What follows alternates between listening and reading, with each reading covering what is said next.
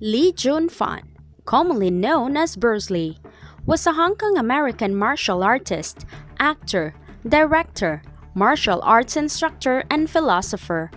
He is considered by commentators, critics, media, and other martial artists to be the most influential martial artist of all time a pop culture icon of the 20th century who bridged the gap between East and West.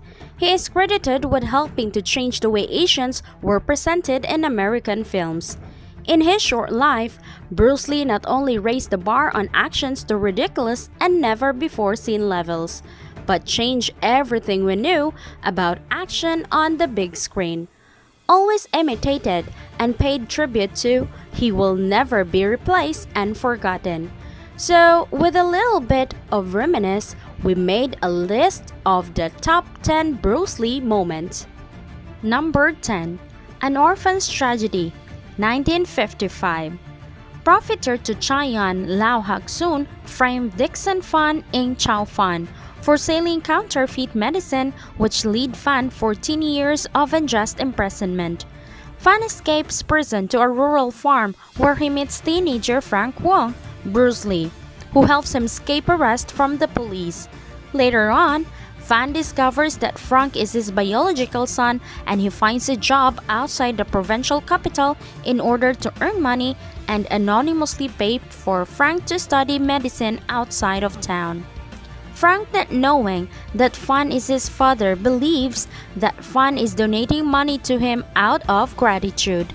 After graduating, Frank works at Toss Medical Company. Tu has always suspected Frank to be Fan's son. In order to force Fan to come out of hiding, he frames Frank the way that he framed Fan back then. Number 9. The Guiding Light, 1953. In yet another message driven melodrama, a foster child gets adopted by a doctor and his wife, who run an orphanage for blind girls. When Lee's character grows up, he discovers the cure for blindness. The movie ends with a direct to camera plea every child can be just like him. Poor handicapped children are waiting for your love, for education, and nurturing. By this point in his career, Lee had mastered the orphan rule, infusing his performance with a heavy dollop of pathos. But he is faced with dilemma when his real parents show up and want him back. Number 8. Love, Part 1 and 2. 1955. Set on board a steamship, this two-part melodrama unfolds in six episodes dealing with six different aspects of love. In the fifth storyline, Lee plays the youngest son in a family of struggling street performers.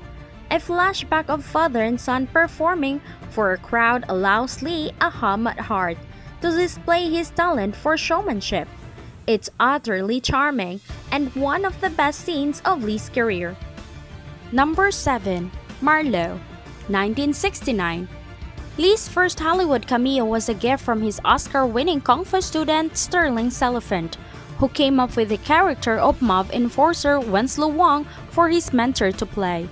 There are moments when Lee, who was self-conscious about his Chinese accent, comes off as stiff and nervous as he exchanged snappy dialogue with James Garner's Marlowe but he eventually loosens up during a scene in which he demolishes Marlowe's office in one continuous ballet of directed violence. The movie flopped at a box office and was panned by critics. Roger Ebert reserved his only praise for the action sequence, although he didn't deem Lee important enough to use his name or get his ethnicity right. Somewhere about the time when the Japanese karate expert wrecks his office, in a very funny scene, we realize Marlowe has lost track of the plot too. Number 6.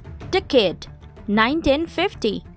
Lee landed his first starring role with his fourth film, and once again about a tough street urchin with a heart of gold.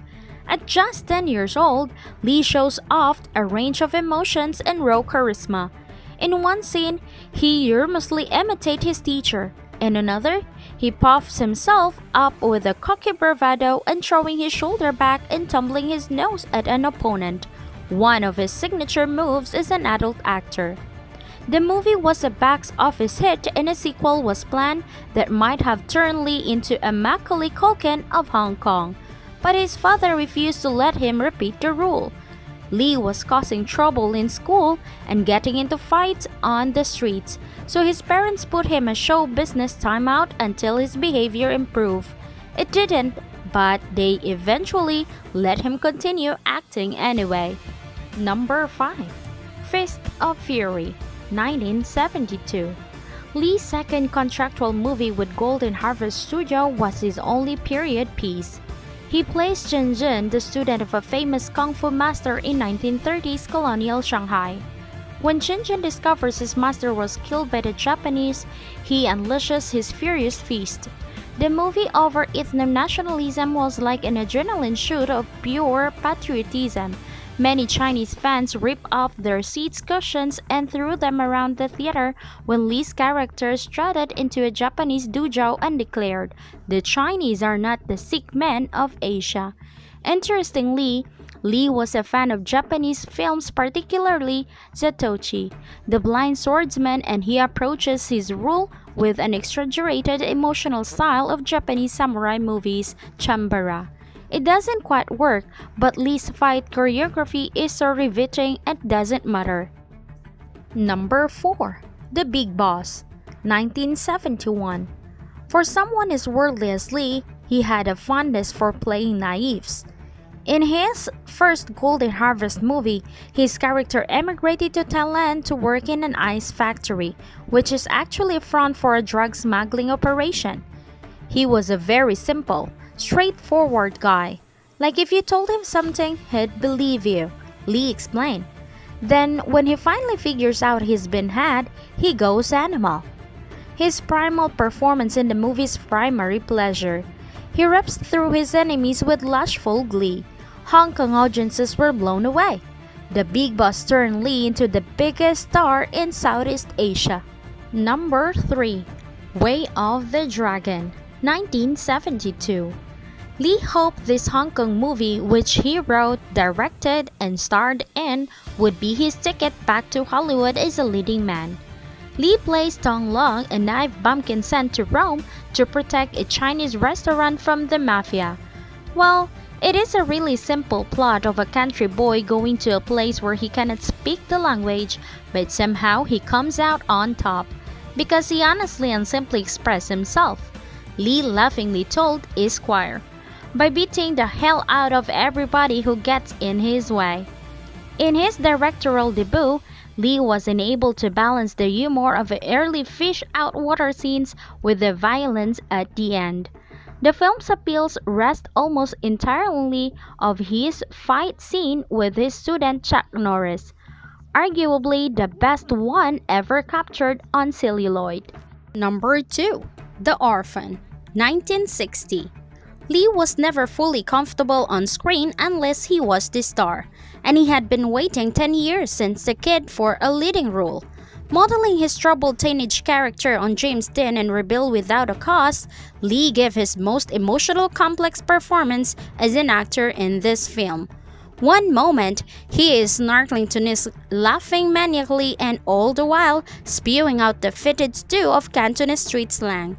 Hong Kong boys were so taken with Lee's swaggering hoodlum that they began to emulate how he smoked cigarettes and cha-cha dance, causing one concerned high school principal to hang a banner across his school entrance reading, No one is allowed to imitate Bruce Lee's Assam in The Orphan. Number 1. Enter the Dragon 1973 this cheaply made James Bond riff-off was supposed to be Lee's entry into superstardom. Instead, his death a month before its release left it a high watermark of his career. The multiracial cast and cat-choking villain and the tournament structure launched the West Kung Fu craze, and a thousand imitators, terrified that Warner Bros. would recut the movie to make John Saxon the star, Lee fought on screen enough to stamp his personality onto every frame. The result was a performance so intense he seemed to vibrate off the screen. Two hours of watching Lee punch, kick, and hack His way through dozens of bad guys inspired millions of Western kids to take up the martial arts. Enter the Dragon is the movie that cemented Lee's legacy in film and beyond. Those are the top 10 Bruce Lee moments. We are pretty sure that all of those are familiar to his fans, especially the 70s, 80s, and 90s. Do we have someone here who is watching? Whether we are living in those years or in the latest generations, we all knew and agreed that Lee is doing his best for every film. Which movie is your top favorite and how many times did you watch it? Let us know in the comments section. If you enjoyed this video, please like and share. We are making and uploading great and quality videos every day. Please consider subscribing to our YouTube channel. Also, don't forget to click the notification bell to get updated. Till next time!